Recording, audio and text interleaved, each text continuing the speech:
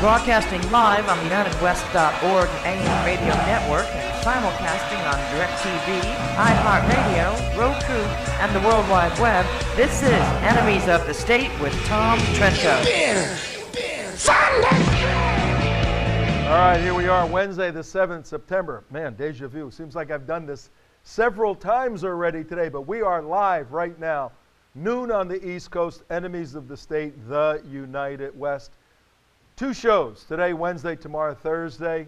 Our title The Donald meets The Jesus in Detroit. You do not want to miss this. We're going to take a look at Donald Trump's efforts in the black community in the United States to win those hard Democrat votes over to him. Will he be successful? Is it a waste of time? Stay tuned the next two days. But as we came up on the noon hour today, we got some breaking news. The Reverend Jesse Jackson, a guy you have not seen for a while, the Reverend Jesse Jackson, not once J. Mark Gamble, I know it's amazing. but twice, twice he praises and endorses Donald Trump. Check out this exclusive video. I do want to express thanks to you, Donald Trump, for being with us tonight. Uh, we need your building skills, uh, your uh, gusto, um, your rent packets for people on Wall Street who represent diversity. And uh, we thank you for coming tonight. Let's give Donald Trump a big hand.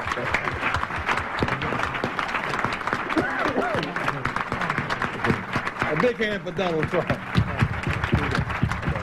And so, aside from all of of his style uh, and his um, pizzazz, he's a serious person who's an effective builder of building for the builder of people. Last year, he was a part of our workshop, of our panel workshop on what are the challenges and opportunities. And so, this a year later, Donald Trump, uh, for a few minutes, challenges and opportunities to embrace the underserved communities. Donald Trump.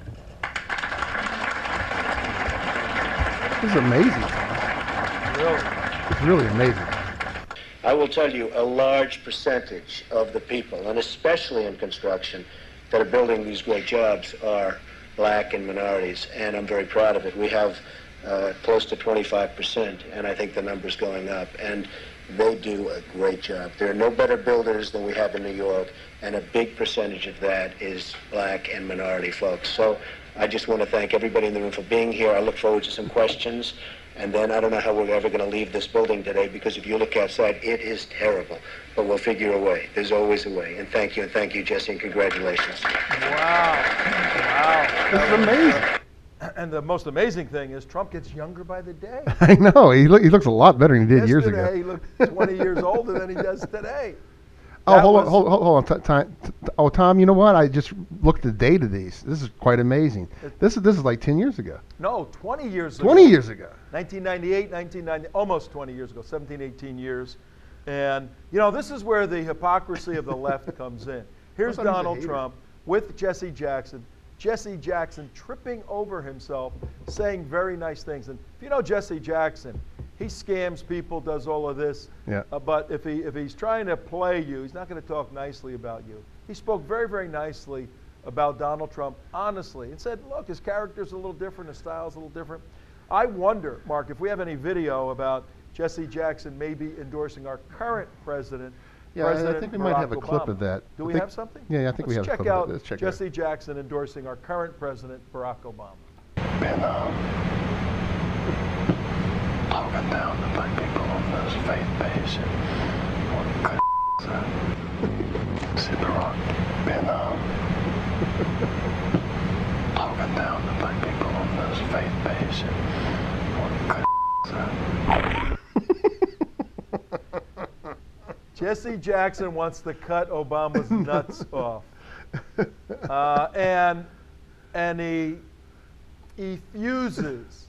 He dishes out all this praise and and uh, gratitude for what Donald Trump is doing in the, if you listen carefully, underserved communities.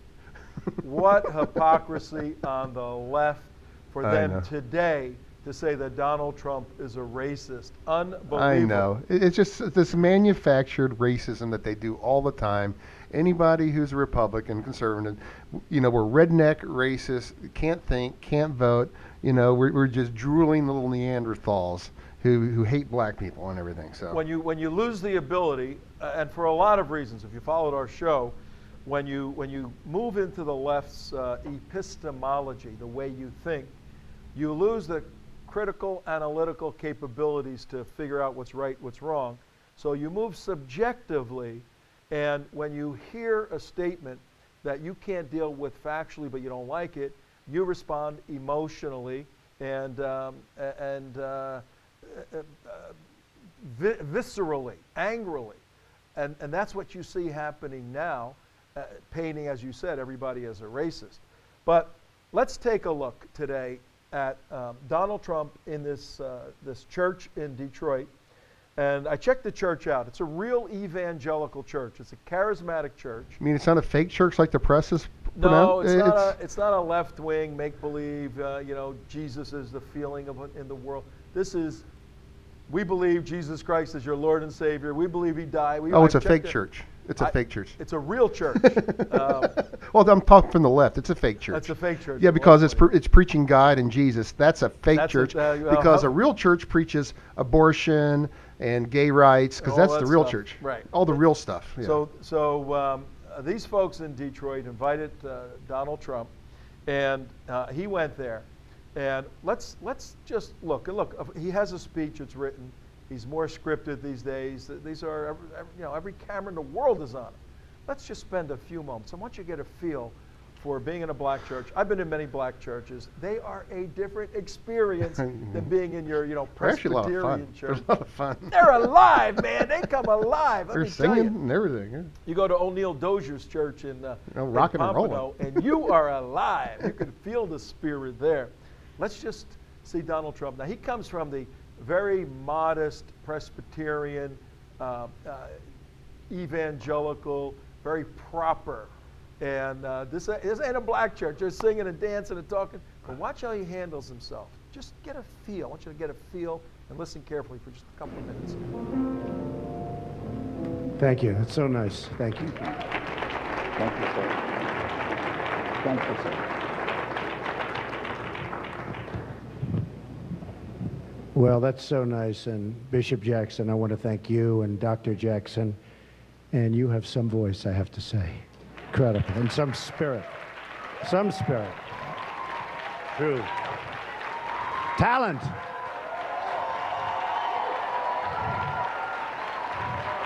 Thank you.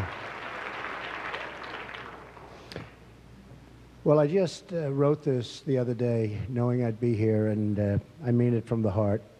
And uh, I'd like to just read it, and I think you'll understand it maybe better than I do in certain ways. For centuries, the African American church has been the conscience of our country. So true. It's from the pews and pulpits and Christian teachings of black churches all across this land that the civil rights movement lifted up its soul and lifted up the soul of our nation. It's from these pews that our nation has been inspired toward a better moral character, a deeper concern for mankind, and spirit of charity and unity that binds us all together, and we are bound together, and I see that today. This, was, this has been an amazing day for me. The African American faith community has been one of God's greatest gifts to America and to its people. There is perhaps no action our leaders can take that would do more to heal our country and support our people than to provide a greater platform to the black churches and churchgoers. You do right every day by your community and your families. You raise children in the light of God. I will always support your church, always, and defend your right to worship. So important. I am here today to listen to your message, and I hope my presence here will also help your voice to reach new audiences in our country And many of these audiences desperately need your spirit and your thought. I can tell you that. All right, now that's just a couple of minutes in the beginning of a 14 minute speech, and we want everybody, uh, particularly Christians, because sadly in Florida we have at least a million Christians who are uh, planning on sitting out this election. As we know, 2012, we lost here by 73,000 votes. If Christians sit this election out, the most critical swing state in the country, if Christians sit it out because of some stupid reason, then Hillary Clinton is going to determine your, the future for your kids with the Supreme Court and on and on and on. But uh, go watch this 14 minute um, Grace Ministry Church in Detroit, 14 minute speech. We're going to show you a little bit of the close in a second. But I, I want to give you a little insight into the psychology of uh, Donald Trump. Um, I, I, don't know the man well. I've uh, been to his, his club uh, many times as a guest. We've held some events there, the United West. He's spoken at one of our events. And, um, but I do know enough about him that he's, he's uh, virtually accountable to no one. He owns a private business run by his family very tightly. He's accountable to his family essentially. So he lives a very unscripted life. And he has lived that, and you can see the, the foils and foibles and failures in his life, very unscripted. Now he's moving into public service where you can't be unscripted 24 hours, seven days a week. So he's got some key people there that are saying, look, we don't want to lose who you are, but there's got to be some guidelines and parameters. So put your thoughts down, let's get some speeches together, and then work your personality through that. And it's a growing experience for anybody who's freewheeling, accountable to no one, to make this transition. And just the fact that he wants to make the transition indicates his seriousness to serve because he doesn't have to do this. Listen to his close.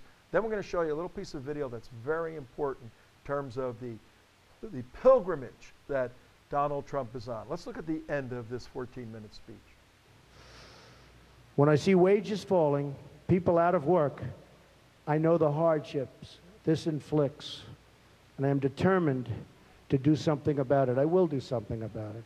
I do get things done. I will tell you. Some people have strengths. That's one of my. I get things done.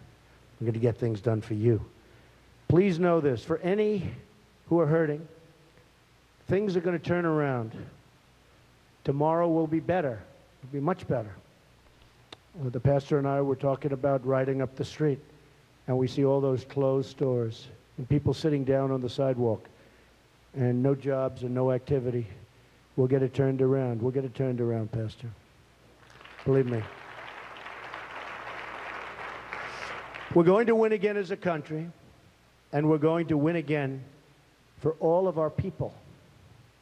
I want to work with you to renew the bonds of trust between citizens and the bonds of faith that make our nation strong. America has been lifted out of many of its most difficult hours through the miracle of faith and through people like Bishop Jackson and Dr. Jackson. So important. People have no idea how important they are. Now, in these hard times for our country, let us turn again to our Christian heritage to lift up the soul of our nation. I am so deeply grateful to be here today, and it is my prayer that America of tomorrow and I mean that, that the America of tomorrow will be one of unity, togetherness, and peace. And perhaps we can add the word prosperity. Okay, prosperity.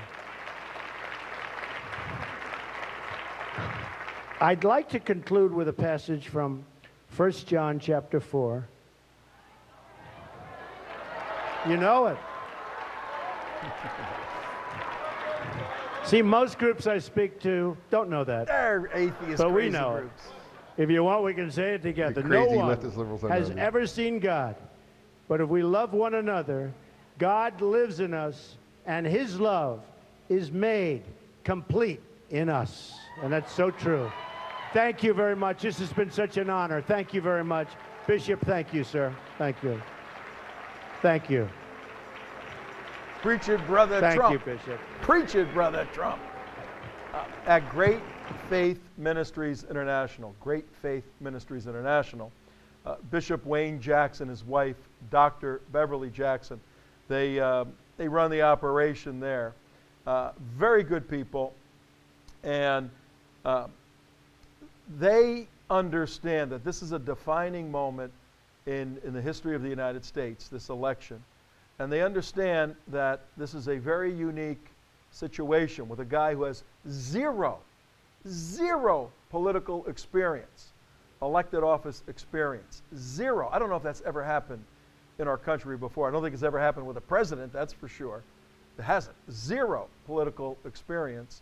Um, uh, they know that the, the calling to be a leader of a country is, uh, is a calling from God, and that God has blessed this country.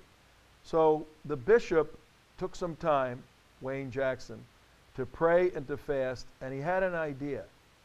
And his idea was to, to give Donald Trump a gift. I'm just going to show you a little bit today, and we're going to pick up on it tomorrow the significance of the two gifts that he gave Donald Trump. Let's show the just the beginning of one of the gifts that he gave um, Donald Trump. My wife and I uh, want to give you something that's Thank you. that's going to be a blessing to you.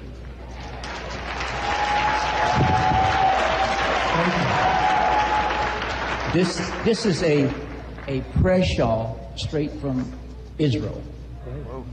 And with this prayer shawl, whenever you're hold this for me, please. Whenever you're flying from coast to coast. I know you just came back from Mexico and and you'll be flying from city to city.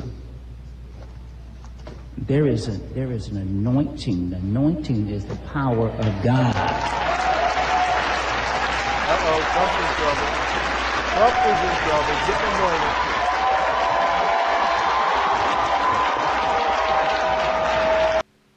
All right, let me tell you what's going on here.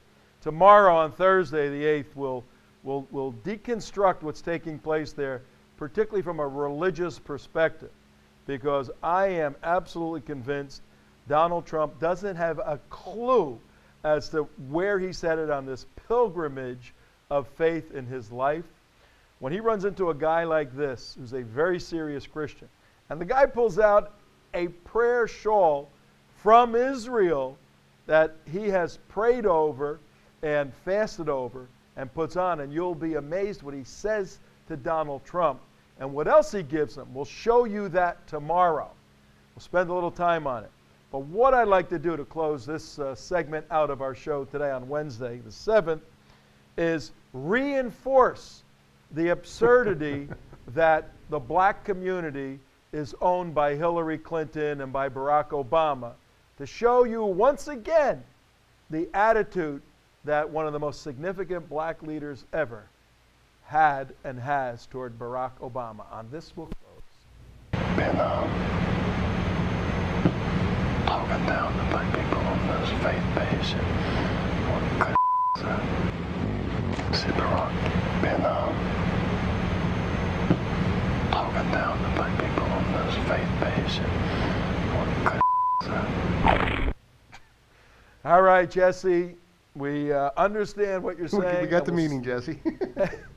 and what my favorite part of that is in the real shot when the, the mic. Oh yeah, he does the little knife slice. He, he goes like, oh, he goes like that. I mean, Jesse's been in front of so many mics. Doesn't he realize every mic is live all the time? Come on, But Jesse. that was classic. It revealed uh, a gigantic split. Now he subsequently apologized because he had to, to President Obama. But the bottom line, the takeaway is the Donald meets the Jesus in Detroit. And the black community is not monolithically democratic. Wise black people can change their mind and go toward love, fulfillment, and as Donald Trump said, prosperity. We'll see you tomorrow.